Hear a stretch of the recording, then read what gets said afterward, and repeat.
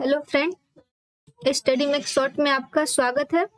पेश है हम अपने करंट अफेयर के नए टॉपिक के साथ और आज का हमारा टॉपिक है 5G हम में से बहुतों के शहर में 5G आ भी चुका होगा, बट हम 5G को एग्ज़ाम पॉइंट व्यू से पढ़ने जा रहे हैं कि हमारे एग्ज़ाम में कैसे क्वेश्चन आ सकते हैं और इंटरव्यू में इसे किस तरह से पूछा जा सकता है। 5G को हम मोबाइल के नेटवर्क के लिए ना जानकर अपने एग्ज़ाम के क्वेश्चन के लिए इसकी तैयारी करते हैं। तो चलिए आज का हम अपना ये सेशन स्टार्ट करते हैं। और सबसे पहले तो ये चर्चा में क्यों है? तो चर्चा में ये है कि नरेंद्र मोदी 1 अक्टूबर 2022 को देश में 5G सर्विस लॉन्च कर दी है।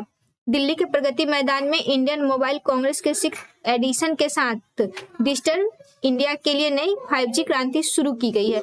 तो यहाँ से हमारा दो तीन क्वेश्चन बन जाएँगे। एक तो इसको लॉन्च कौन किया? तो ये हमारे पीएम नरेंद्र मोदी और इसकी लॉन्चिंग की डेट एक अक्टूबर 2022 और कहाँ पे? तो दिल्ली के प्रगति मैदान। तो दो से तीन क्वेश्चन हमारे स्टार्टिंग में ही बन जाते हैं, हमारे कॉम्पिटेटिव एग्ज़ाम के लिए। आगे हम चलते हैं। तो एयरटेल ने दिल्ली, मुंबई, चेन्नई, बेंगलुरु, हैदराबाद सिल्लीगुड़ी नागपुर और वाराणसी में अपनी एयरटेल 5G प्लस शुरू की। यह सेवा जल्द ही चरणबद्ध तरीके से देश के सभी प्रमुख शहरों में होगी। और आगे हम आते हैं। ये जियो जो कि मुकेश अंबानी की है, इन्होंने दिसंबर 2023 तक समूचे भारत में उपलब्ध कराने के लिए घोषणा की है। तो यहाँ से हमारा एक और क्वेश्चन बन रहा है कि एयरटेल ये 5G को सबसे पहले भारत में लॉन्च किसने किया? तो इसका आंसर जाएगा एयरटेल आगे चलते हैं कि 5G क्या है? इंटरनेट नेटवर्क की पांचवी जनरेशन को 5G कहते हैं। यह एक वायरलेस ब्रॉडबैंड इंटरनेट सेवा है, जो तरंगों के ज़रिए हाई स्पीड इंटरनेट सेवा उपलब्ध कराती है। तो इसकी स्पीड पर चलते हैं। अपलोड स्पीड डाउनलोड स्पीड से काफ़ी कम होगी।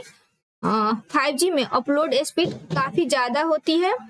वहीं डाउनलोड स्पीड काफ़ी कम हो जाएगी, जहाँ एक को डाउनलोड स्पीड 1.9 जीबीपीएस तक मिल सकती है। वहीं अपलोड स्पीड में भी 100 एमबीपीएस से अधिक ना जाए। तो आगे चलते ये काम कैसे करती है? फाइव जी तकनीक पूरे नेटवर्क आर्किटेक्चर में प्रगति पेश करेगी।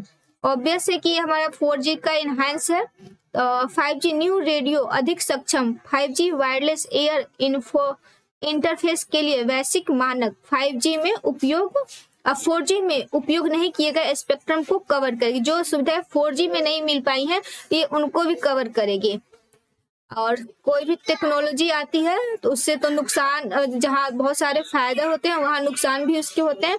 तो इसके जो इंटरव्यूअर होंगे उनके लिए क्वेश्चन आ सकता है कि 5G के नुकसान क्या हो सकते हैं?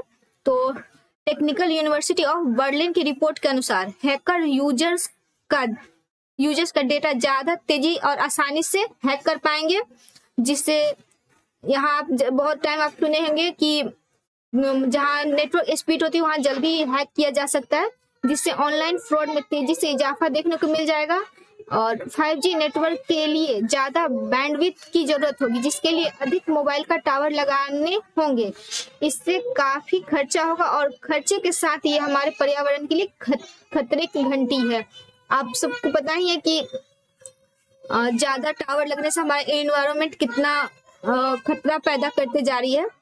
तो ये हमारा आज का ये सेशन रहा। आप हमें लाइक आप हमारे कमेंट में बता सकते हैं हमारा आज का ये सेशन कैसा लगा। साथ ही हमसे बने रहने के लिए प्लीज़ आप हमारे चैनल को लाइक कमेंट और सब्सक्राइब ज़रूर करें। आज का सेशन के लिए धन्यवाद।